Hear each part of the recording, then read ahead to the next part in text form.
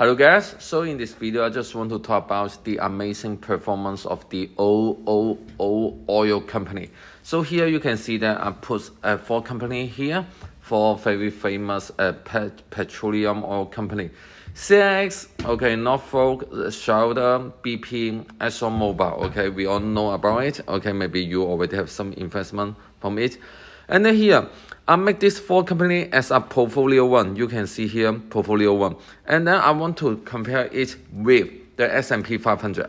So you can see that uh, there is initial balance here. Okay, uh, let's say I will invest 10,000 in portfolio one.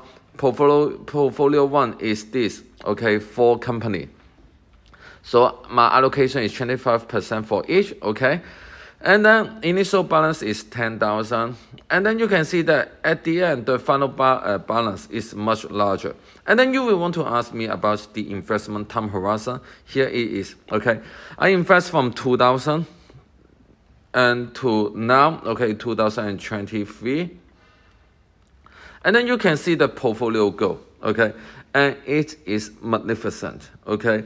So you can see that yes, from sometimes the uh, petrol oil company uh, performance is worse than uh, S&P 500, okay, during the first few years. But later you can see that the growth is significant, okay? The growth is significant.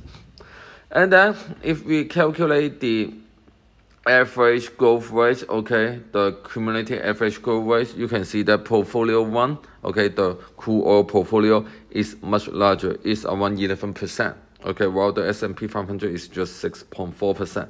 So you can see that actually buying those old school po, uh, those old school crude oil company, you can actually have better return. A lot of people don't uh, uh, never talk about it, but now you know it from me you can see that S&P 500 is of course very safe, but oil company, the main point is it has significant dividend. You can earn great dividend from it. It's amazing. And so by investing in oil company, not only will you gain a lot of dividend every month, and you can also get great capital return. So maybe you should think about it. Okay, crude oil company is an underdog that a lot of retail investor has been ignoring. Warren Buffett has purchased a lot of crude oil stock, and he is a smart man. So people, if you find that you learned something from this video, please consider to subscribe my channel. I will make more high quality video for you guys. Thank you very much.